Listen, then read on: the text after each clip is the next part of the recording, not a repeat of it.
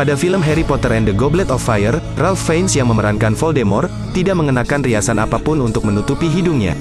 Untuk membuat karakternya lebih menakutkan, para editor menghapusnya secara digital. Selain itu, mata merah seperti ular yang dideskripsikan seperti di dalam novel, tidak ditambahkan, karena sang aktor berpikir bahwa ekspresi matanya akan memberikan gambaran yang lebih baik mengenai kegilaan dan keganasan Lord Voldemort. Dan butuh waktu dua hari untuk memfilmkan peran Ralph Fiennes sebagai Voldemort. Di film ini, Robert Pattinson menyatakan bahwa ia lebih suka memerankan Cedric Diggory untuk sekali lagi, meskipun karakter tersebut telah dimatikan dalam film ini, daripada memerankan Edward Cullen dalam Twilight Saga, peran yang membuatnya terkenal.